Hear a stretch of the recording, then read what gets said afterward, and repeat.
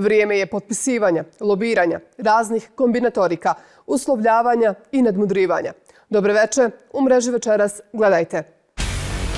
Bakir Izetbegović za mrežu govori o sporazumu o smorke i HDZ-a, opoziciji RS-a i pokretu za državu, četvrtom srpskom delegatu, Domu naroda federacije, ideli SDA u opoziciju, Dodiku, Čoviću, Rusima, Turcima i međunarodnoj zajednici.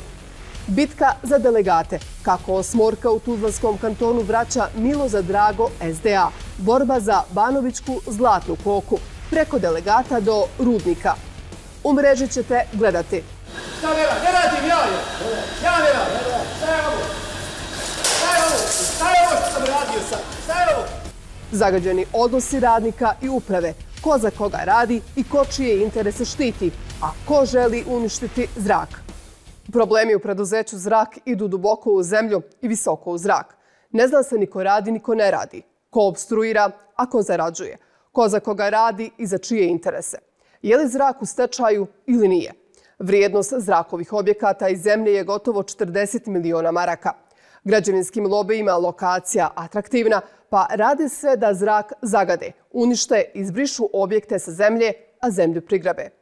Građevinski mešetari i privatizacijski fondovi svađaju upravu i radnike, kupuju i podkupljuju pojedince, dijeli radnike, uradili su sve da u zraku ni zrak nije čist. Sve prljave, kriminalne, upravljačke i sindikalne čestice zraka u prilogu koji slijedi proizvode i nišane, a godinama meta. Od loših uprava, sumnjivih poslova, provala, krađa, otimačne i preprodaje imovine. Tradicionalnih štrajkova radnika do stečaja koji sada visi u zraku. Zrak danas je u, u, u, u provali, u ambisu. Zrak diše, ali jedva. Znači, na aparatima je, to je jedan teški bolesnik koji je doslovno na samrti, eto samo se ponekad nešto malo u njega obrizga da malo, da malo dođe sebi. Normalno, Harry Potter nisam, da imam neki čarobni štapić. Vlada nije učinila dovoljno koraka. Ona zapravo ima zrak kao problem i do sad je samo gasila požar. Seča ili spas zraka, nekada giganta danas firmi koja je meta mešetara, a koju ni Tito pomoći ne može. Radnici i uprava u sukobu. Preživjela rat, teško da će mir, a mira unutar firme nema. Posla za sve u krugu, zakupce, osim za radnike zraka. Umjesto vojne opreme ovdje je alat Čakija i šaraf Ciger. Ima da me većala što će da radiš. Ja prvo nisam ne neki da je stigla, ne radim. Šta ne radim? Ne radim ja je. Ja ne radim. Šta je ovo? Šta je ovo? Šta je ovo što sam radio sad? Šta je ovo? Ko je ovo uradio bilo? Evo da pravim budalom, Ko lažeš da ne radi? Ti ne radiš bilo. I ovo je jedini pogun koji radi. Za mašinama polu ispravnim sjede penzioneri vraćeni da rade jer nema ko. Drugi pogon, optika, tvrde nam radnici, proradila je samo jer je ekipa mreže u zraku. Smjena uprave i nadzornog odbora zahtjevi sindikata radnika jer na posao dolaze, a plata niti posla nema. Radnika nema, bilo je 120 radnika, sada je trenutno 60, 60 nas je ljudi napustilo, posla apsolutno nekakvog nema ništa. Znači mašine su ugašene, radnici koji su ostali u fabriku dolaze, u fabriku sjede pored maš, ugašenih mašina. Ova uprava na čelu sa Neđadom Kolđom, 11 mjeseci je tu feninga ugovora nisu donijeli u ovu fabriku, a on priča jednu te istu priču, mantra stalno vrti jednu te istu priču, kao da smo mi djeca iz obdaništa. Nama je došlo do grla, mi više ovo trpiti ne možemo, a vlada federacije, stvarno, oni, evo pa malo prije sam rekao, pomalo daju na, na kaškice neku infuziju, samo eto da ne krepamo. Nije tačno, evo ja sam sad rekao, dakle, 49 naloga stoji otvorenih u realizaciji i u optici i u dole u, u, u mašinskoj i mi smo evo završili jednu seriju uh, nišanskih sprava za Latviju koja evo čeka isporuku. Također završili smo i ova četiri ugovora prije toga, prema tome posla ima, sam treba raditi. Ugovor sa Austrijancima, čiji se potpis čeka, misterija je za sindikat, a on bi navodno izvukao zrak iz krize.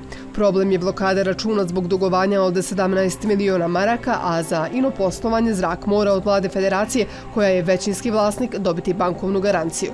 Od nje zavisi i uplata avansa za posao, jer su radovi po naređbenici već počeli iznos tih sredstava je otprilike duplo veći nego što je realizacija zraka bila u prethodne dvije godine. E, ono što je najbitnije u čitavoj toj priči je da je to potpuno nova sprava, plod naše pameti. E, kažem, sva četiri prototipa koji smo napravili su prošli sve moguće kontrole i sad praktično u ovoj seriji mi treba da pokažemo da je sve do nas, da mi treba da uradimo te, e, taj posao zato što e, ova kompanija e, je već u svom proizvodnom programu nas prepoznala kao partnera i sve svoje proizvode oružne sisteme nude sa našim nišanskom spravom. To je ugovor s 560 komercijalnih maraka. Pa vi vidite kada napravite dug od 7-8 plata, vi ne možete pokriti tim samo plate. Da ne, da ne pričamo troškove struje, materijala i ostalo. Tako da je to apsolutno nikakva nije značajna finansijska injekcija, to je samo da se prikaže da ta uprava nešto uradila opet ponavljam, od decembra je ova uprava, znači godinu dana apsolutno njene komercijalne marke nisu donijeli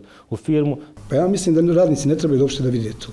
Njihovo nije to, nisu oni uprava. Radnici trebaju da rade ono što im je naloženo. Oni imaju pravo da traže svoje plate i da traže. I mi smo ti koji trebamo njima da osiguramo platu. Ali ako on meni ne radi danas ili sutra, pa ja njemu ne mogu obezvijeti platu. Mi moramo naći neke vanjske saradnike da bi završili neki ugovor. Mi moramo prvo ovdje dovesti mlađe radnike da, da, da bi ovi naša raja obučila, da bi bili spremni za neki veći ugovor. Sa ovim trenutno radnici, sa 60 radnika ne možemo mi nijedan veći ugovor ispuniti. Dvadesetak uprava i loše rukovodđenje dovelo je da nema niko ništa raditi.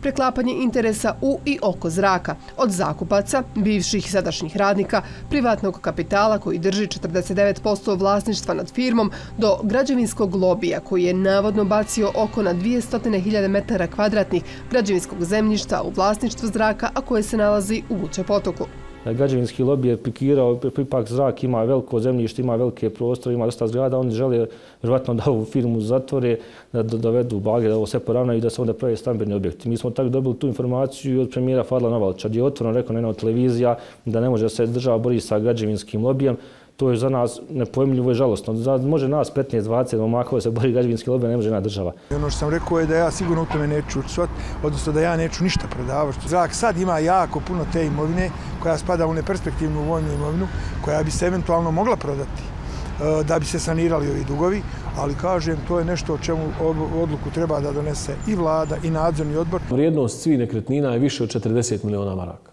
Dakle, E, vrijednost zemljišta i objekata koje su trenutno vlasništvo firme Zrak. Ali su svi ti objekti pod hipotekom, pod zabilježbama. Firma ne može da raspolaže sa zemljištem, a radnici ne mogu da dobiju svoje, svoja potraživanja. Prvi korak u tome bilo bi tvrde radnici izmještanje zraka i pripajanje sa tehničko-remontnim zavodom Hadžići, a što je ideja potekla iz resornog ministarstva sa potpisom Nermina Džindića. Ovim je tražio očitovanje od uprava dvije firme, premijera i načelnika općine Hadžići. Da li je sve na tome ostalo? Nismo dobili odgovor ministra Džindića koji nas, kao i radnike zraka, izbjegava. To bi značilo sigurnost, 100% smo umjereni gašenje firme Zrak. Možda im je to bila ideja na taj način. Eto, prebačamo mi Zrak u firmu TRZ. To bi možda trajalo mjesec, dva, tri. Na kraju bi se to sve ugaslo i firme Zrak više ne postala. I to je jedan puteva kako da njegovo zemljište bude na neki način prodato na, na drugi u drugu svrhu, a ne za namjensku i vojnu proizvodnju. Za nas je to nemoguća misija i smatramo da ako bi bilo kakvo pomjeranje se desilo da firme Zrak više ne bi bilo a zraka postepeno nestaje. Više od 50 miliona maraka kapitala je rasprodato, a i firma rasparčana. Jedan od primjera je i prodaja zemljišta iz 2019. godine. Zrak je ugovorio prodaju preko 71.000 metara kvadratnih zemljišta firmi ŽGP za nešto više od 3 miliona maraka. Međutim, radnice tvrde to nije konačna cijena jer je nakon sklopljen novi ugovor po nepoznatoj cijeni. U tom nakladnom ugovoru, znači pravom ugovoru, mogu se navesti da, da, da to bude za milion i pol, za milion za marku. Mi apsolutno ne znamo za koliko je to podano. Tačnije, znamo da je naplaćen milion 300 ja maraka, a da milion 700 ne mogu da naplati. Zašto ne mogu da naplati? Ili ugovor nije potpisan kako treba, ili je neka druga mora se izraziti mučka, muljaža. Znamo da je prepušena nekoj drugoj firmi i zanimljivo je da u ovom ugovoru piše da je prodaja jedne parcele, a da je skroz druga parcela prodata. Tako da, ona, mislim, to je stvarno nevetnost neke stvari. A ko to uradi? Ovo je direktor bivši radi Isma Hebibović, koji je bio tu od 2015. do 2021. ja mislim, godine. Uporedo sa rasprodajom zemljišta, zakupcima su iznajemljivani pogoni puni mašina, a koje su tvrde radnici nestajale iz kruga firme. Finansijska policija utvrdila nedostaje njih 207 to je veliki dio od tih 200 mašina koje fali je bilo u tim halama, one su otišle bez ikakvih opremnica, bez išta, znači preko, što bi kažemo, preko kapi, izašle su iz firme, one koje su prebačene u našu u ovaj trenutnu zgradu, one su uništene naravno, jer ipak su to mašine po 2, 3, 4, 5 tona, to je jako teško ubacivati. Pa, pa to je nas interese. Kako može nestati mašina od 2, 3 tone? Mislim, to morate doći s kamionom ovde i, zaista su nevjerovatne stvari. Gore mašine gdje sada ovaj, u magazinu da vidite, to je groblje mašina. To su bile mašine kad je izdao ovu objekat Amco Commerce. Te mašine slobodno sad možemo u staro željezo prodati. Jer su devastirane, poskidano je sa njih ono sve što je bitno, a ostalo je sama željezarija. Znači, i te mašine možemo smatrati uništenim. To je sve remek dijelo Ismije Hebibovića, bivšeg direktora zraka. 17. posljeratni direktor Ismo Hebibović ove navode demantuje. Istraga protiv njega nije ni provođena, a krivičnu prijevu podnijeli su i upravo ovi radnici.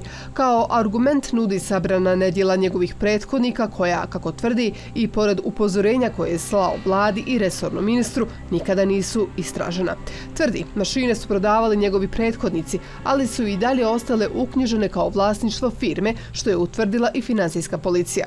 13 poslovnih objekata i zemlje zemljište od 2005. do 2014. prodato je za 10,5 miliona maraka i to ispod knjigovodstvene vrijednosti, a upravo su taj novac prikazivale kao prihod od djelatnosti firme. Novac je bio namjenjen za plaće radnika, međutim u istom tom periodu stvoren je novi dug po ovom osnovu od 6 miliona 400 hiljada maraka. Hebibović dalje navodi da je firma bila u gubitku zbog krađe imovine, a razmjer iste možda najbolje pokazuje popis koji nudi.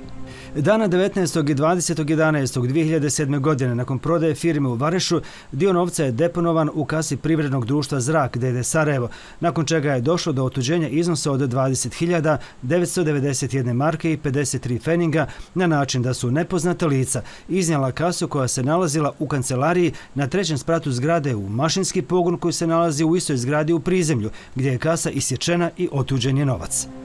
A kralo se na veliko i često, tvrdi Hebibović. Ukraden je tricijum vrijednosti 320.000 maraka, materijali sirovina, elektroinstalacije, čelične ploče, čelik, metalni poklopci, radijatori, aluminijske i prokromske šipke.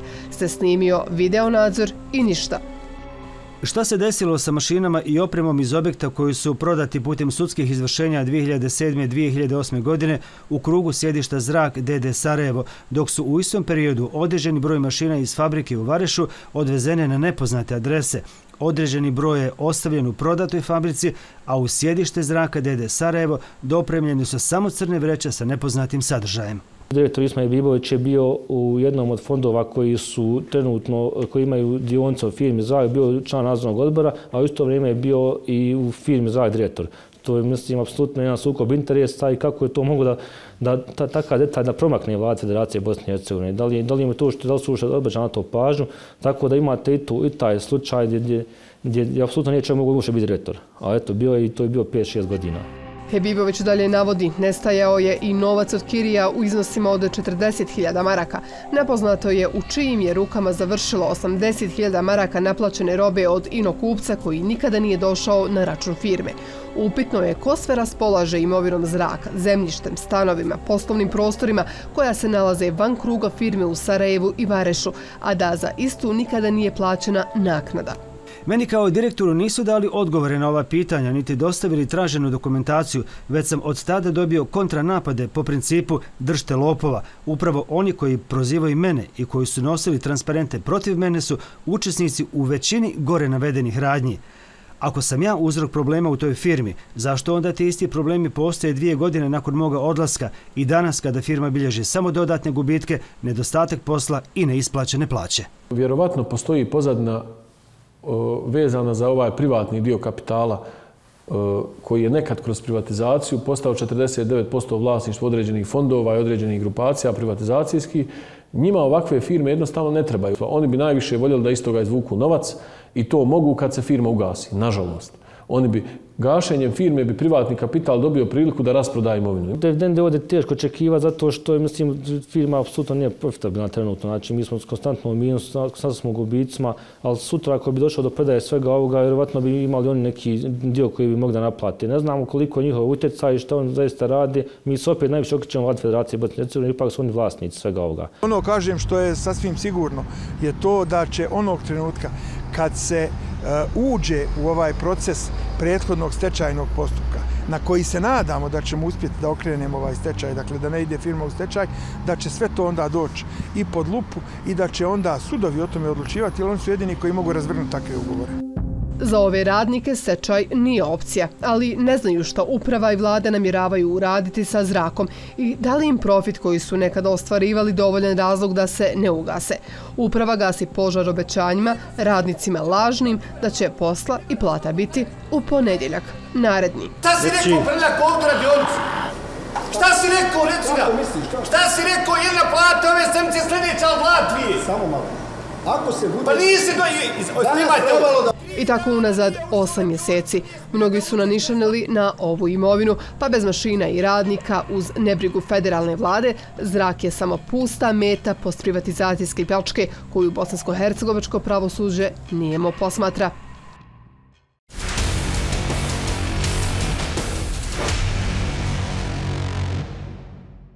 U Tuzlanskom kantonu stranački dresovi i interesi se mijenjaju preko noći.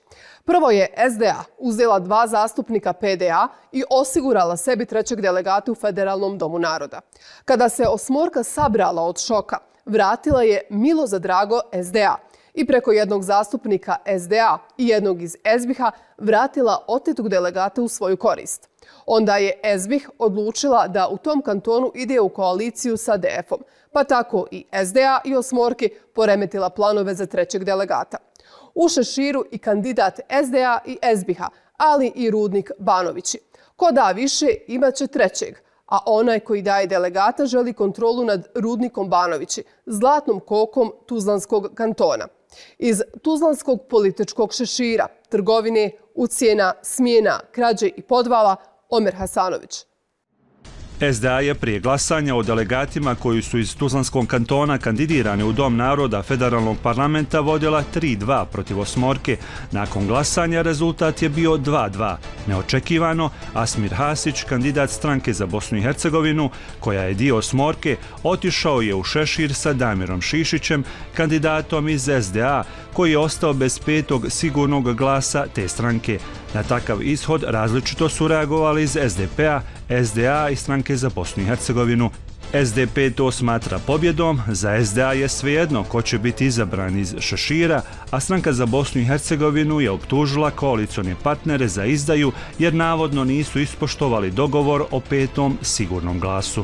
Ide u Šešir jedna lista stranke za BiH koja je uz SDP na federalnom nivou i jedna lista SDA. Prema tome, znači danas smo ostvarili još jednu pobjedu u cilju formiranja federalne vlade. Kogod bio u baražu, bit će iz ove vlade i iz ove aktualne, aktualne većine. Možda to bude tako za par dana i na, na taj način zaokruženo tako da nam, ja ne mislim da smo i danas nešto posebno izgovorili kao stranka. Tražiti od Efendića, predsjednika stranke za Bosnu i Hercegovinu, da malo drugačiji kurs zauzme kad je u pitanju federalna politika i sklapanje federalne vlade. Dakle, imamo koalicijalne partnere s kojima pregovaramo na višim nivoima, smatram da bi to trebalo spuštati na niže nivoje. Međutim, ovdje u Tuzlanskom kantonu nije takav slučaj. SDP i dalje tvrdi da je ispoštovao dogovor sa strankom za Bosnu i Hercegovinu, a iz stranke za Bosnu i Hercegovinu kažu da su prevareni. Imamo iz Šešira mogućnost da se ovaj taj, ta, taj broj delegata prenese na SDP.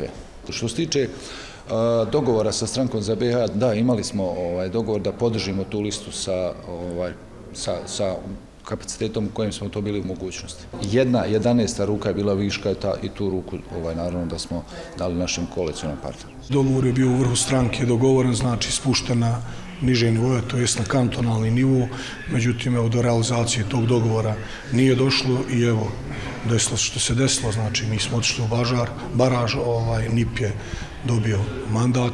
Ja sam odmah onaj dan nakon glasanja tražio od vrha stranke da predzvu neke ovaj, mjere kad je u pitanju to, jer ako ljudi nas ne doživljavaju ovdje, ne znam kakva je ovaj, logika sa njima praviti neku priču na bilo kom nivou. Hasić nije dugo čekao. On i njegov kolega iz kluba stranke za Bosnu i Hercegovinu, Emir Salihović, potpisali su sporazum o zajedničkom djelovanju sa četiri DF-ova skupštinska zastupnika iz SDA pojašnjavaju na šta su konkretno mislili kada su izjavili da kao stranka ništa ne gube, a iz stranke za Bosnu i Hercegovinu već nagovještavaju nastavak koalicijone saradnje. Ovo govorim u kontekstu aktualne većine da, da je to prijedlog koji je sa nama trenutno u koaliciji, možda ponovo budemo zajedno. Mi smo otvoreni za razgovore, naravno. Svako ko želi s nama da razgovara u tom pogledu mora imati određen program. Dakle, Osmorka nije pobjedila, ali SDA je izgubila. Izbor trećeg delegata koji je prije glasanja sigurno bio u rukama SDA, nakon tajnog glasanja završio je u Šaširu, koji je izdao stranku i glasao protiv njenog kandidata, niko sa sigurnošću ne zna, no krivac je otkriven na osnovu kontrolnog mehanizma i načina savijanja glasačkog listića. Sam način izbora je usmjeren na to da delegate morate usmjeriti na koju će listu da bi dobili. I to su, dakle, nije ništa novo, to se radi u svim kantonima i to rade sve stranke. E, gospodin Kudumović je bio jedan od tih koji je trebao da glasa za tu listu i mi smo uvjereni da on nije ispoštovao odluku organa stranke. Profesor Mihanić rekao da nije, kao ja nisam predstavio ovaj listić. Mi smo imali instrukcije kako će ko glasati i od pet ljudi on ovaj tvrdi da ja nisam. Ali ovo je sve pozadina od prije ovaj nepovjerenja. Uslijedila je ekspresna reakcija izvršnog odbora SDA-TK koji je većinom glasova pokazao crveni karton Fadilu Kudumoviću i žestoko ga kaznio. Izvršni odbor kantonalne organizacije SDA Tuzlanskog kantona je donio zaključak kojim traži od predsjedništva stranke demokratske akcije da se gospodin Fadil Kudumović isključi iz stranke zato što ne poštoji odluke organa stranke. Dakle, mi smo uvjereni da se radi o gospodinu Kudumoviću, da on nije ispoštovao odluku koju je donio izvršni odbor stranke. Kudumović odbacuje odgovornost i tvrdi da nije glasao protiv SDA. Skopljak kaže da izvršni odbor nije pogriješio kada je predložio Kudumovićevo isključenje. Čija je greška, to će se morati tvrditi. Ja sam u SDA od samog osnivanja i u SDA ću ostati čita život. Mogu oni mi isključiti. Mene iz SDA, neće SDA iz mene. Nijedan pojedinac ne može biti iznad SDA. Svako ko napravi grešku mora da plati cijenu. A to što gospodin Kudumović govori ima ona jedna narodna, jel, nije mati klela što je kocku nego što je vadio. Protiv odluke izvršnog odbora SDA-TK bio je Beko Gutić, predsjednik opštinskog odbora SDA Banovići, koji je kandidirao Kudumovića za skupštinskog zastupnika. Komisija za izbor imenovanja je kompromitovala jel, tajnost, tajnost izbornog procesa.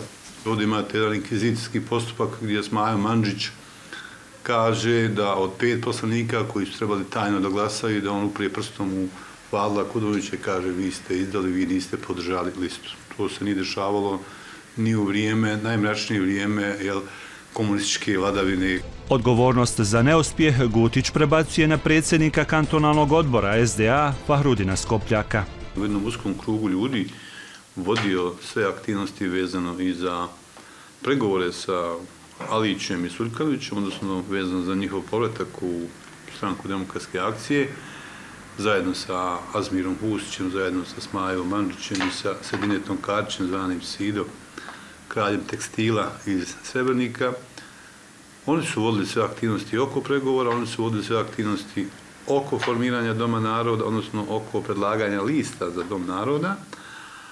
Oni su u konačnici bez saglasnosti izvršnog odbora Eh, imenovali Lejlu Vuković za dopresedavajuću e, eh, dopresedavajuću skupštine Tudanskog kantona. I kažem, dešava nam se ponovo da eh, u kantonalnom odboru SDA imamo Kukićev sindrom, da se odluke donose u jednom uskom krugu ljudi i dešava nam se to da kantonalni odbor je pao pod uticaj određenih interesnih grupa, koje na neki način stranku doživljavaju po svoj lični bankomat. SDA je nagradila scena Dalića, predsjednika kantonalnog odbora PDA, delegatskom pozicijom. Njegov izbor nije smio biti upitan zbog stabilnosti nove skupštinske većine. Pojedini skupštinski zastupnici iz SDA testirani su na glasanju za Damira Šišića, koji je blizak Smaji Mandžiću, koji je na izvršnom odboru zatražio da kazna za zastupnika koji nije postupio prema stranačkim uputama mora biti rigorozna. U suprotnom će, navodno, napustiti skupštinsku većinu. Više od pola zastupnika u klubu komentarisalo to na takav način ako se ovo ponašanje ne sankcioniše, dakle da i oni nemaju obavezu više poštovati odluke organa stranke. Dakle, tačno je da je gospodin Mančić bio jedan od tih koji je to komentarisao na taj način. Dakle, i to nije ništa neprirodno. Ovdje imate još jedan problem što Smajo Mančić i njegova privatna poslanica Lejla Vuković, oni hoće da već skupštinska većina u Skupštini Trudnanskog kantona funkcionišu na 18, kao što je to bilo i u prošloj vladi kada su oni mogli ucijenjivati time podršku vladi kantona određenim beneficijama koje su dobili. Međutim, Mandžić je takve optužbe odbio da komentariše pred našom kamerom. Tvrdi da prije izglasavanja odluke o Kudumovićevom isključenju nije uslovljavao stranku eventualnim napuštanjem skupštinske većine. Problemi u SDA su mnogo dublji. Datiraju od momenta kada su se Skopljak i Gutić borili za poziciju predsjednika kantonalnog odbora SDA. Ovdje je problem generalno taj uh, sukob koji još traje od kantonalnih izbora između Rudna Skopljaka i mene, jel, kao njegovu kvotu kandidata, čovjek nikad nije mogao da to meni oprosti i halali kako sam se ja drznuo da njemu izađem na crtu tada, jel, da budem protu kandidat. Takve vrste sukoba s moje strane nema, je. Zbog čega bi ja imao sukob sa gospodinom Beč, Be, Be, Gutićem kad sam ga uvjedljivo pobjedio za predsjednika. Dakle, to samo može biti s druge strane da, da gospodin Gutić ima problem s tim. I jedan i drugi se brane dobrim izbornim rezultatima. Ja sam neko ko je kao predsjednik kantonalnog odbora osvojio 61.000 glasova, ubjedljivo najjači kantonalni odbor stranke demokratske akcije u državi. Dakle, i to je nešto što toj ekipi ljudi predstavlja problem, jel oni bi krenuli skida glavu, a ne, zna, ne znaju kako će jer ima postoji rezultati za mene. Problem je nastao onog trenutka kada smo mi istakli kandidaturu za poziciju premijera, kada smo kazali da s pravom očekujemo i s pravom mislimo da možemo predložiti i kandidovati premijera, premijera i imamo osobu za tu poziciju. Gutić tvrdi da sukobljavanja unutar SDA navodno imaju veze i sa unutar stranačkim izborima počeo neka, neke vrste igre prijestolja za prestojeće kantonalne odbore, za, pa čak i kongres možemo kazati koji, će se, koji bi se trebao po kalendaru sljedeće godine da održi unutar stranke demokratske akcije. Mi još uvijek ne znam ni kad će biti raspisani stranački izbori, dakle o tome još niko ne priča. Tajni glas koji je otišao o stranci za Bosnu i Hercegovinu otvorio je prostor za sve češće špekulacije o navodnim razgovorima Gutića sa Osmorkom kako bi se zadržala kontrola nad Banovičkim rudnikom, a u slučaju da SDA na federalnom nivou završi u opoziciji. Nisam ja siguran da ima ikakvog uticaja izvan, izvan SDA, osim eventualno neke veze koja može biti sa strankom za BiH, obzirom da je kandidat stranke za BiH dobio taj glas, da li neko sebi ovde otvori malo vrata i za neke druge scenarije ako se dese, ja u ovom momentu zaista ne znam niti mogu tvrditi, ali kažem, sudbina Rudnika je vezana za federalnu vladu. Mislim da je ovdje jedna druga igra se igrala, a to je da se pokuša stranka za BiH odvojiti od osmolke gore. Špekulisalo se Bego će otići sa čamparama, sa zvizdićima, s ovima i s onima. Ja sam dugo, kažem, u ovoj stranci, puno sam dao za ovu stranku zajedno, ja i moja porodica, i ne pada mi na pamet da, da to prepustim nekim uh, preletačevićima. Kadrija Modrić, bivši direktor Banovičkog rudnika, upozorava da se nova federalna vlast ne smije ponašati kao prethodne koje su rudnik koristile kao sredstvo za jačanje moći određenih političkih stranaka i pojedinaca. Jedni bi ponovo nešto da osvoje, a drugi bi da ponovo nešto sačuvaju. Međutim, stvari su tako ni jedni ni drugi nisu takve političke snage izvan lokalne zajednice da bi mogli osvojiti ili mogli sačuvati. Princip vladanja u općini Banovići zasnovan je samo na jednoj činjenici, a to je gola borba za ovladavanje javnim resursima u rudniku nekog uglja Banovića. Za novu vlast, ali i sve moguće buduće koalicije u Tuzlanskom kantonu više nisu presudna dva preletača koji su se iz PDA priklonili SDA-ovoj skupštinskoj većini. Presudnu ulogu će imati DF i stranka za Bosnu i Hercegovinu bez čijih šest zastupnika niko ne može formirati vlast. SDA ih nikako ne može zaobići, a SDP-u bi mogli biti ključni za eventualno formiranje vlasti bez SDA.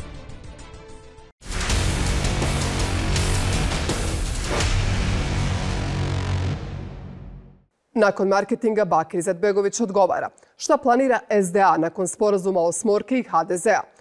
Ko će u četvrtak u Narodnoj skupštini RS-a odigrati glavnu ulogu pri izboru srpskih delegata za državni dom naroda? Dodik, Stani Vuković ili pokret za državu? Zašto je SDA nepoželjna međunarodnoj zajednici, a SNSD poželjan?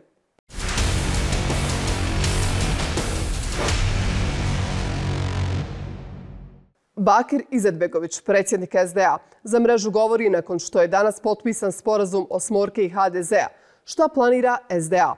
Ko će u Narodnoj skupštine RS-a odigrati glavnu ulogu pri izboru srpskih delegata? Dodik, Stani Vukovićeva tri zastupnika ili pokret za državu? Ko će imati većinu u Bošnjačkom klubu Federalnog doma naroda? SDA ili Osmorka? Može li zaustaviti političku perverziju Osmorke, HDZ-a i SNSD-a, kako je najavljivao? Šta misli o Konakovićevom nonsensu vlasti bez HDZ-a i SNSD-a? Gospodin Izetbegović, danas su eh, HDZ i Osmorka potpisali koalicioni sporazum za sve nivoje vlasti. Da li to znači da naredne četiri godine SDA ide u opoziciju? Ne bih rekao.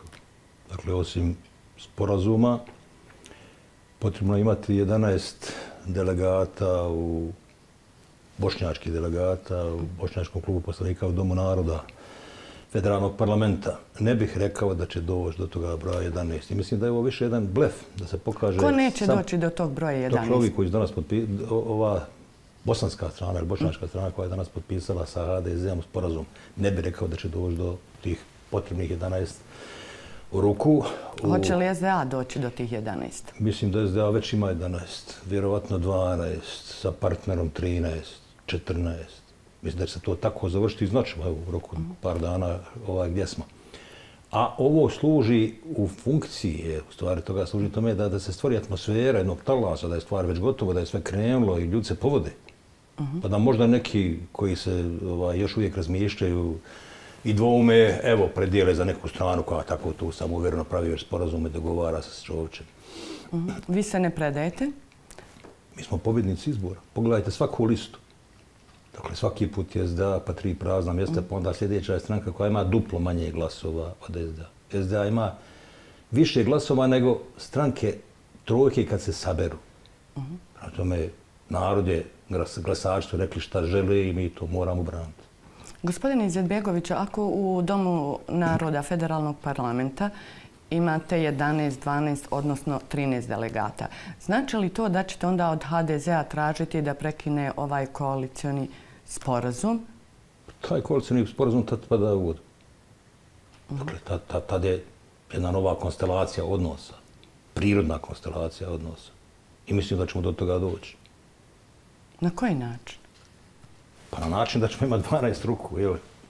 Odnosno 13 u Domu naroda, da će se morati sa nama praviti koaliciju. Uh -huh. Osmorka tvrdi da već imaju svoji sigurni 12 delegata. A svi sve tvrdi, vidjet ćemo.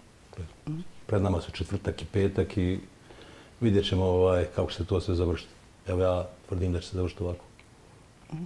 A, kako vi gledate na sadržaj ovog sporazuma koji, su, koji je potpisan? Par stvari me tu zanima, one su neprecizne.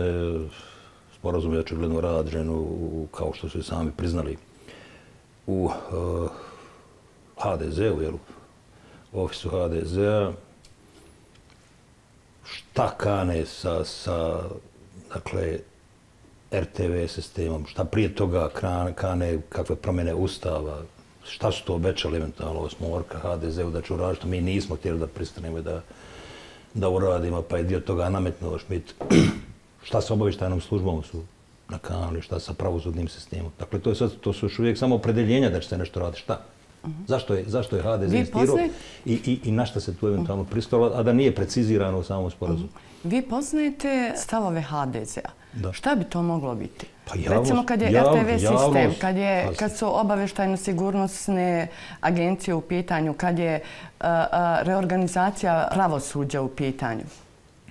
Znate šta, Javnost šta je su oni sve vrijeme Da, dakle, htjeli? ne samo ja, nego javnost je upoznata sa zahtjevima HDZ-a, kojima mi nismo htjeli izaći u susret. I kad je u pitanju RTV sistem, i kad treći kanal, Nikad je u pitanju obavještajna služba gdje od mene traženo da, da HDZ odredi dakle, buduće kadrove unutar strukture ovaj, obavještajne službe. Ne direktora, zamjenika i slično, ovaj, nego, nego unutar strukture da svih kadrovi ha, trebaju biti određeni u, u, unutar HDZ. Neprofesionalno. Dakle, mi- Mimo, mimo, mimo, mimo procedura. Što se tiče ovaj, uh, dakle, ustava, izmjena ustava, znamo šta je to. HDZ neće pristati da se brišu prefiksi. Hrvatski, bošnjački, srpski. Tražit će da to ostane hrvatski član predsjedništva i tako dalje. Ne znam šta su iza zatvornih vrata obećali, pa su ovako, ovako odobrovoljili uh, gospodina Čovića koji kaže da konačno ima uh, koalicijnog partnera. Da li sumnjate u taj dogovor i da je Osmorka možda pristala na sve zahtjeve po pitanju izbornog zakona kada je HDZ u pitanju? Je- Pogotovo na ovo legitimno predstavljanje. Legitimno predstavljanje je ne definisana stvar. Ko, ko je taj ko će re- reći ko je u ovoj državi, u ovoj zemlji legitiman, ko je nelegitiman? To sigurno neće biti ovaj HDZ. Ko će reći, recimo da čovjek koji je izabran u skladu sa ustavom i zakonom je nelegitiman. Tako da je to prilično neuhvatljiv termin, treba biti precizniji. Ja mislim da je opasnije od toga. Nemamo ništa protiv legitimnih predstavnika, samo samo je nejasno ko su. Dakle, osloniti volju, osloniti izbor tamo gdje su u pitanju predstavnici naroda, na većinsku volju tog naroda nije problem. A to onda treba tako definisati. I zatim treba ograničiti tu volju na način da štitite vlastiti nacionalni interes, a da ne ugrožavate druge, da ne ugrožavate funkcionisanje države kao što je to radio HDZ. I da jednostavno na bazi toga nemate uporno dvostruko i trostruko više pozicija od ostalih koje eto nisu legitimni. A to je sad slučaj. Dakle, HDZ će imati ispod 10% ruku u parlamentarnoj skupštini Bosne i Hercegovine, u predstavničkom domu parlamentarne skupštine i komotno će tra, tražiti trećinu vlasti. Umjesto desetine, trećinu. Slična stvar i, i, i sa pozicijama na federalnom nivou. Sve se pozivajući na neku legitimnost, zatim ima sve mogu, mogu, moguće ovaj, mogućnosti blokiranja, zaustavljanja, kroz to ucjenjivanja, sve smo to isprobali u prote- protekle četiri godine i na to ne bi trebalo da pristane ovaj SDP, koji u ovome času ima veliku odgovornost. Dakle, ovo su, da tako kažem, dan i dej Za koga? za Bosnu i Hercegovinu. Kako će, kako će igrati u ovu partiju šaha? Sa HDZ-om, gospodinom Čovićem i sa SNSD-om i sa gospodinom Dodikom. Konkretno predsjednik SDP, gospodin Nikšić. Šta će uraditi? Sa HDZ-om nije dobro krenuo. Dakle, uporno smo mu nudili da se ne borimo za vlast. Ja to govorim od 2018. Da li mu to ruka. nudite i dalje i nakon ovog sporazuma? Naravno, ja ne vidim alternative tome. Dakle, nije riječ o vlasti. Napravimo jedan snažni probosanski front koji će sve u ovoj zemlji staviti, da tako kažem, na mjeru i HDZ i SNSD. Ne dopustite da se ova stvar desi. Jedan od predstavnika hrvatskog naroda mora biti iz probosanskog bloka. Jer mi imamo Hrvate i Srbi. Čemu ti ljudi, čemu je njih pet ili, ili šest u državnom parlamentu, u federalnom parlamentu, ako nećemo to efektuirati? Zašto HNS-u dopustiti, dakle, samo oni koji su bili u HVO, jel, da to bude kriterij legitimnosti? Je, šta je s ovim drugim Hrvatima, šta je s drugim Srbima? Ne dopustite tu stvar. Ne dopustite da, da Čović naredi, ne možete imati DF, on je nelegitimna stranka. Ne dopustite da ih naziva probosanski front bošnjačkim. Ne dopustite Dodiku da, da, da ga naziva muslimanskim. U ovome času on to sve popuštaju, samo da, da bi uklizali u vlast. I mislim da to neće na dobro izaći. Dakle, ta, takav jedan odnos. Da se, da se košničari ostave, a da se motor ukloni iz, iz, iz jedne, jedne mašinerije koja Bosnu i Hercegovine vodi već, već 32 godine. A zbog Dakle, čega je taj motor Iščupati motor SD, SD, SDA i ostaviti košnicu. A zbog čega je taj motor za kojeg vi kažete da je motor sklonjen sa strane? To je naravno motor.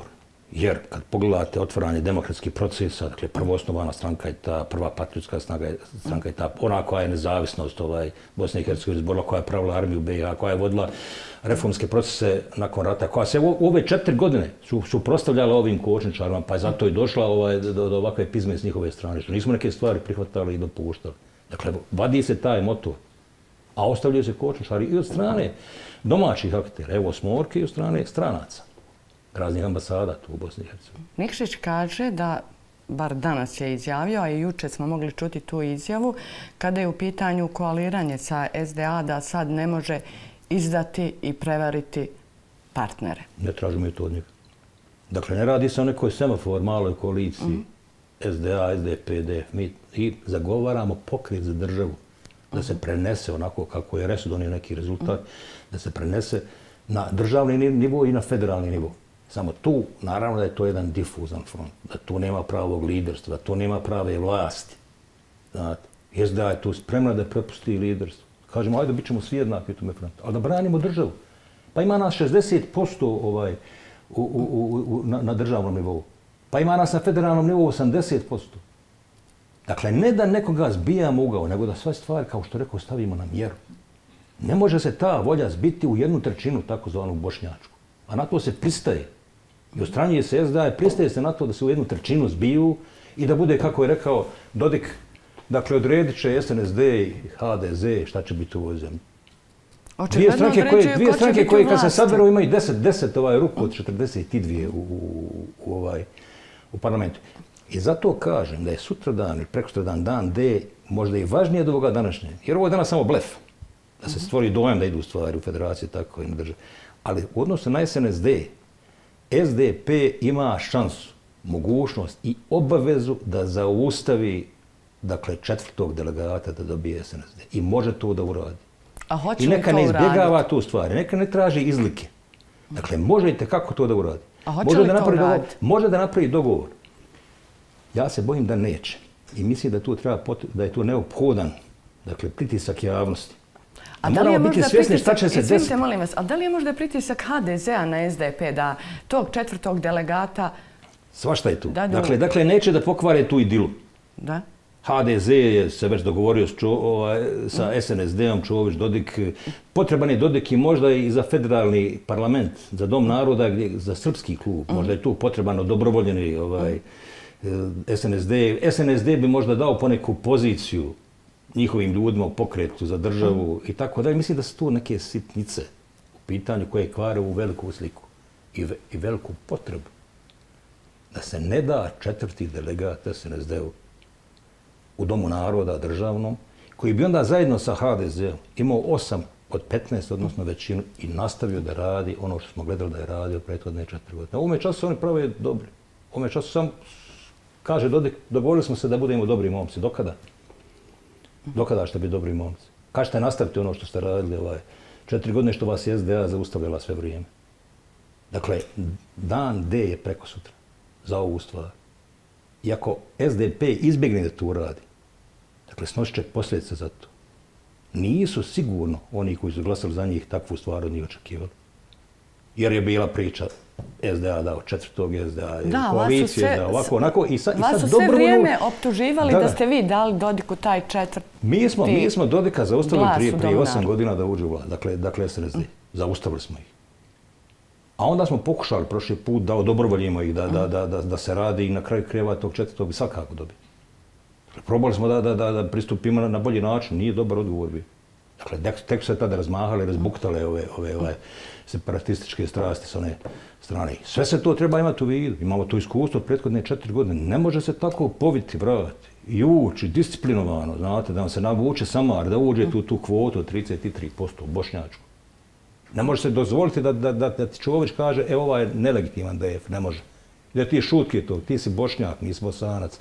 Je to probosanski front, vi ste muslimani i tako dalje, da su to sve šutke ovaj, ta, takve definicije u odnosu na građanske stranke da se rade, da se to šutke podnosi, da se, da se ulazi ovaj, da se dobije neka svoja kvota i vlast. Kad govorimo o DF-u, da li je Osmorka već u startu popustila HDZ u samim tim da DF-a nema u ovom bloku? Apsolutno. Pa nije ni jednu riječ progovorio.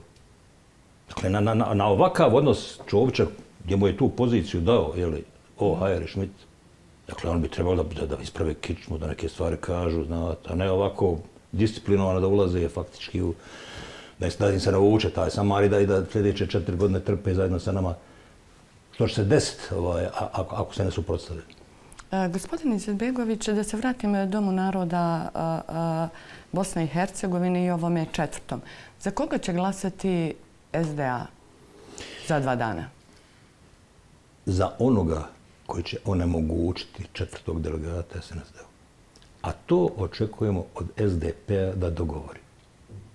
Neka nađe bilo koji mehanizam.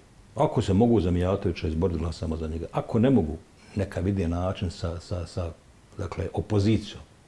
PDP i SDS imamo dobra iskustva s njima od 2014. do 2018. se normalno ponašali. I oni i sad normalne poruke šalju. Dakle, Borenović, jučer eh, ovaj Vukan, uh -huh. kaže nemojte se prepustiti dobrovoljno onome što će vam Dodik raditi sljedećih godina. Oni to kažu. Dakle, od njih treba tražiti dvije stvari. Da poštuju državu, da je ne blokiraju, onako kako je blokirala SNSD, da odustanu od blokada, koje traži Narodna skupština RS, dakle da to odustanu, nek se ostave entitete, nek rade za državu, kako su radili od 14. do 18. i da imaju korektni odnos prema bošnjacima i hrvatima povratnicima. I to dvoje dovoljno da u tome budu različiti od, od, od Dodika i SNSD. I ljudi to nude. I ako se to propusti, onda je to do SDP-a, a ne do njih. Ljudi otvorno te stvari nude. Jučer u Sarajevu. Da li će pokret za državu uh, taj, da kažem, strateški interes prodati za uh, ministarsku fotelju i za uh, fotelju podpredsjednika Narodne skupštine Republike Srpske koja je samo tu proforme radi?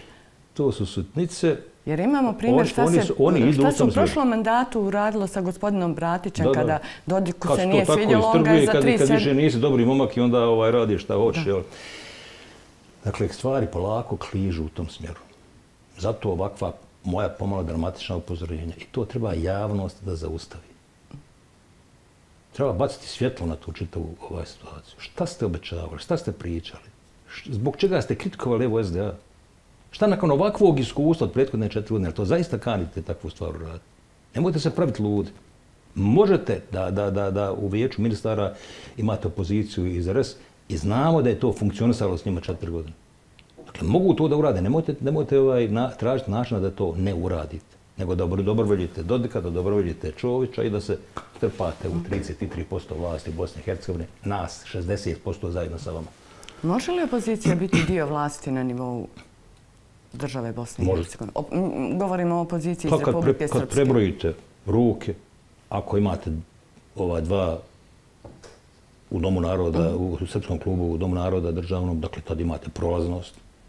Imenovanje je samo u predstavničkom domu, dovoljno se ruku ima, iskustva imamo kakva imamo, treba ući u tu stvar. To nikakav nije rizik. To je po meni obaveza. S obzirom na ono što je Dodik radi, što je prijetio u prošlom mandatu. Ne smije mu se potpuno prepustiti. Pa juče Vukan nas upozorava bošnjaki, nemojte se prepustiti. A naši predstavnici, evo polako, kao što rekao, križu u tom smjeru. Dobro, gospodin e, Konaković kaže da formirati vlast na nivou države bez HDZ-a i SNSD-a, da je to nonsens. Na državnim nivou će naravno biti HDZ i na entitetskom nivou. Samo trebalo mu dati trostruko više ili u federaciji dvostruko više nego što mu pripada. Treba li to raditi? To je pitanje gospodina Konakovića. SNSD može biti odstranjen sa nivoa države. Imali smo to iskustvo stvari su funkcionisali. Dakle, kako? Ne da može, nego mora biti. Ko mora biti? SNSD je uklonjen sa, sa izvijeća uh mhm. -huh. ministara. To, to se mora uraditi. Tu obavezu imaju i to mogu da urade. Imaju našu podršku u tome. I mislim da imaju podršku javnosti i očekivanja. Što se tiče HDZ-a, on neće ništa možda koči. Dakle, HDZ neće možda zaustavlja stvar na državnom nivou, jer je on unutar federacije, bez obzira koliko ruku imao. I mislim da će se puno disciplinovanije i normalnije ponašati, jer su dobili barem 50% od onoga što su očekivali, tražili u Neomu u Sarajevu, to im je poklonio gospodin Švit. Sad će biti normalniji u ponašanju, manje će blokada praviti. Znate, mislim da će doći do Mislite da će praviti njihov... manje blokada? Evo, on i dalje blokira rad vijeća ministara. Pa mislim da će se normalnije ponašati uh -huh. HDZ i HNS. I da će se u velikoj meri izbiti taj adut koji njih tjera da ne budu, eto, kako kažu izdajnici, da su svi na jednoj hrpi, da su svi unutar HNS-a, to je nenormalno stanje. Uh -huh. Dakle, vi, vi imate dva snažna bloka ovaj, među Srbima u RS-u, imate tri bloka među Bošnjacima i Bosancima. Dakle, ovako zbijanje oko jednog lidera i oko jedne stranke, zahvaljujući priči o legitimnim, nelegitimnim predstavnicima o tome da su mali, da će neko da ih naglasava. Sad, sad su ti argumenti u velikoj meri izbijeni. Dakle, dobili su daleko više nego, nego, nego što im pripada Ja mislim da će sad doći do, do disperzije političke, do, do diversifikacije, do, do polarizacije ovoga tijela hrvatskog glasačkog i, i političkog općenito. Mhm. Referisat Referite se na jednu vašu izjavu. Kazali ste uh, kada bi a, formiranje vlasti na nivou države od Smorka, HDZ i SNSD da bi to bila perverzija koju treba zaustaviti. Naravno. Naravno. Pazite, kad vi odstranite najjaču, najreferentniju, mhm. dakle, stranku pobjednicu na izborima, koju vi zaista ne možete ništa predbaciti. Ništa veliko se ne može prebaciti, jes da, koja naravno nije savršena stranka, ima i u, u, u njoj pojedinaca koji, koji, koji su loše stvari radili, ali generalno, kad je u pitanju odnos prema državi, dakle, kad izbacujete, kao što rekao, taj motor, a ostavljate kočničar, nakon ovakvog mandata koji smo, evo sad svje, svježe ga završavamo, onda je to politička perverzija. Jer nije, nije SDA samo struktura političara. Ti političari rade. Oni predstavljaju najkvalitetniji dio, da tako kažem, društva u Bosni i Hercegovini. To, to, to su patrioti, to su ljudi privrženi tradicionalnim vrijednostima, to su dakle, zaslužni ljudi za odbranu Bosne i Hercegovine i politički vojni. Ko vi to iščupate, srce to, ovaj, patriotsko unutar tog spektra političkog, onda ste napravili te verziju, a ostavite kočničar. Jer evo stranci koji se i takako miješaju u čitavu stvar. Evo, upravo sam htjela da, da vas sad pitam vezano za strance. Kolika je njihova uloga da vas nema u vlasti? Ogromna, nažalost. Da tvrde da nije.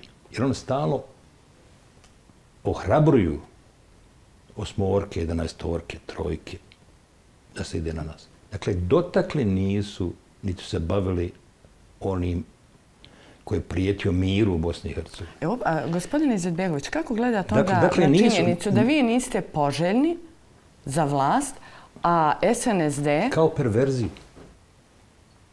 Kao perverziju gledam. Dakle, kao HDZ to su, koji je četiri godine to su naopake, kočio vlast to su, dakle, naopake, per, per, pervertirane ovaj, vrijednosti uh -huh. i, i, i, i, i postupanje.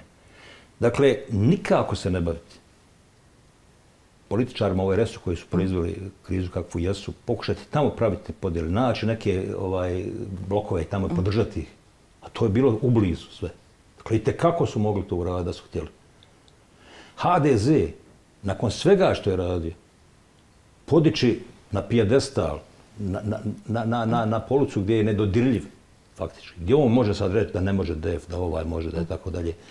Dakle, a onda još se na ovakav način pozabaviti najjačom patriotskom bošnjačkom strankom. Probati je ščupati iz, iz vlasti. I taj faktor politički potpuno ukloniti. Bošnjački patriotski faktor. To je, kao što rekao, jedna, jedna politička verzija i to su radili. I to su kontinuirano radili četiri godine. Nije to krenulo sad. Uh -huh. Krenulo još od 2018. godine. Uporni pritisak na nas da nešto damo, da nešto popuštamo, se nešto završava na naš račun, pa ako nećete, onda ste ovaj, rigidni, onda ste ovaj, nefleksibilni, onda se sa vama ne može. A što to niste dali pa ste kažnjeni? Pa krenulo je recimo od toga da čitava migrantska tok, taj migrantski ima da ide isključivo tamo gdje žive bošnjaci. I da sad taj problem i teret s migrantima, agresivnim migrantima, imaju samo bošnjačke sredine. Dakle, neće ući tamo gdje je SNSD, neće ući tamo gdje je HDZ. I to su stranci tako zamislili.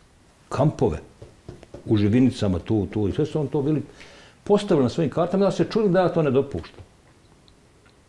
Dakle, na naš račun. Pa onda u Neumu izmjene ustava na naš račun. To mi se kaže. Možda ćete izgubiti izbore zbog ovoga. Znate? Ali morate neke stvari dati. Evo ove koje posle toga nasilnog stvari ovaj, visoki predstavnik predao. I još preko toga, mnogo toga. Evo. Dakle, stalno se takve stvari i podrazumijeva se da će to biti na naš račun. Jer visoki predstavnik kad definiše ko kakva prava ima, uh -huh. kakva Hrvati, kakva Srbi, kaže pa i Bošnjaci imaju pravo da žive. Pa i životinje imaju pravo da žive. Evo. Jer to smo naše pravo. Imamo mi pravo na, na, na ravnopravnost, na nediskriminaciju. Imamo pravo na jednu građansku, normalnu državu. Onakvu ka, u kakvima ovaj, oni žive i s kakvi dolaze. Pa više se ne spominje ta građanska država. Spominje će se, naravno.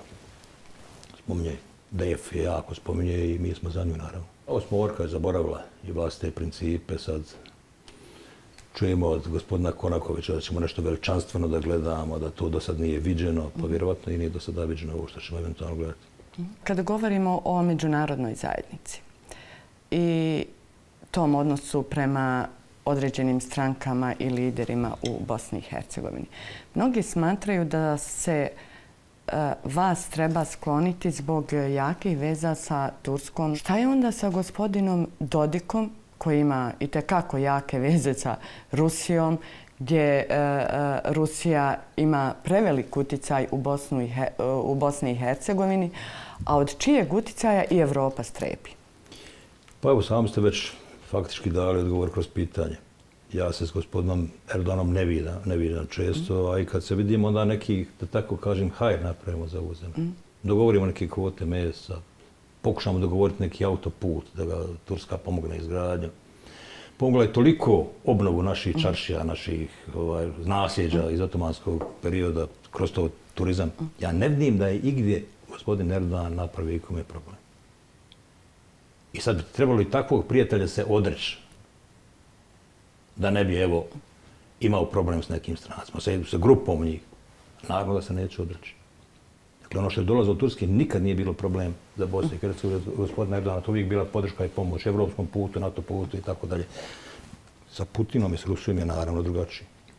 To su permanentno bile grupe, provokacije, motoristi, pjesnici neki ostrašeni koji tu dolaze ovaj, s nekim svesrpskim, sa nekim sferuskim ovaj, planovima koje moramo zaustavljati na granicama.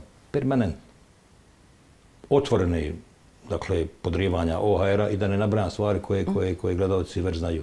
I onda na, na, na sedmičnoj bazi posjete Dodika Rusiji u momentu kada Rusija razara Ukrajinu.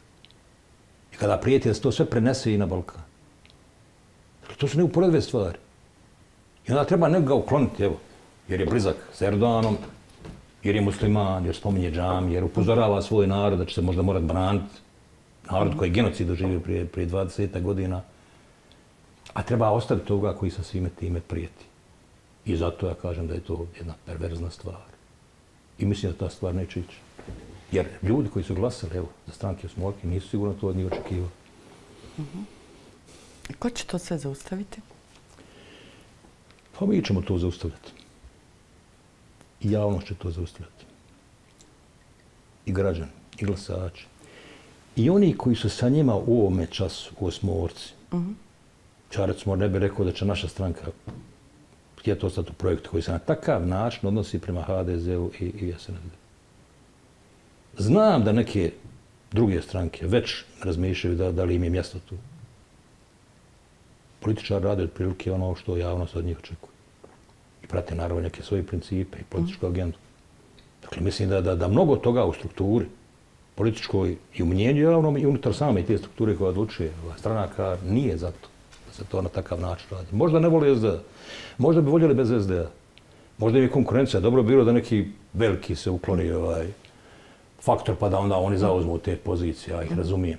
Ali predati zemlju i prodati zemlju zbog toga ovako uči, ovaj, na ovako jedan podanički način u odnosu na, na, na, na Čovića, Dodika, HDZ, SNSD, pa to zaista ne ide. Pa to, to, to, će, Gospodine Zbegović, to, ovaj, su osuditi. teške optužbe da će neko izdati i prodati teške su državu. Stvari, teške su stvari koje, koje, koje se spremaju da urade. Od SDA pa nadalje. Nije, nije SDA samo SDA. SDA predstavlja određenu, kao što sam rekao, grupu ljudi, ogromnu u Bosni i Hercegovini, vrlo kvalitetnu. Dobro predstavljaju njih, njih i oni. Ostraniti njihovu volju i ostaviti ovo, to je Da ne ponavljam po peti put šta. Šta će biti sa Bosnom i Hercegovinom uh, u naredne četiri godine ukoliko HDZ, SNSD i Osmorka budu dio vlasti? I po vertikali i po horizontali. Mislim da će SNSD nastaviti po svome, da će HDZ imati vrlo jasne zahtjeve, da ćemo ponovo ući u krizu i da Osmorka neće ostati cijela pod tim pritiskom. Ako to uopšte uspije napraviti, a sumnjam da će uspjeti napraviti. Dakle, prije svega sumnjam da će imati 11, da će otići sa Čovićem kako su zamislili, nego ćemo ih tjerati da napravi ovaj front, kako sam obećao na izvorima. SDA će pobijeti, onda će vas pozvati da napravimo taj front. Se nećemo pitati za vlast, nego za državu. Što se tiče SNSD-a, mislim da je neophodan pritisak javnosti, imaju šansu da preko sutra naprave tu stvar sa, sa opozicijom u, u, u RS-u i, i, i, i da moraju to uraditi. Se ne smije igrati s tim da, da, da, da, da ovaj zaista daju dodiku četvrtog. Ako bi SDA imala tih 11 i bila sa HDZ-om u koaliciji, odnosno partnerstvu, znači li to da biste uslovili odlazak SNSD-a iz vlasti na državnom nivou? Ne bih ja to ni pitao HDZ ništa. Ja bi to uradio. Dakle, mi imamo dovoljno ruku. 60% ruku parlamentarnoj skupštini u domu, u predsjedničkom domu je evo iz ovoga probosanskog fronta. Pa samo pokrije za državu koji je brojao deset stranaka, ima četiri od njih su ušli u državni i šest ih je ušlo u federalni parlament. Pa u državnom one, one već imaju 19 ruku. Dakle, mogu te stvari da odrade, zajedno sa opozicijom iz RSNR. Mogu, onako kako smo mi promijenili sastav cika, pa su se neki bunili, imamo sad jedan kvalitetan cik. Tako treba i ovu stvar raditi, pa nek se bune ako hoće. Hvala vam, gospodin Ispeković. Molim lijepo.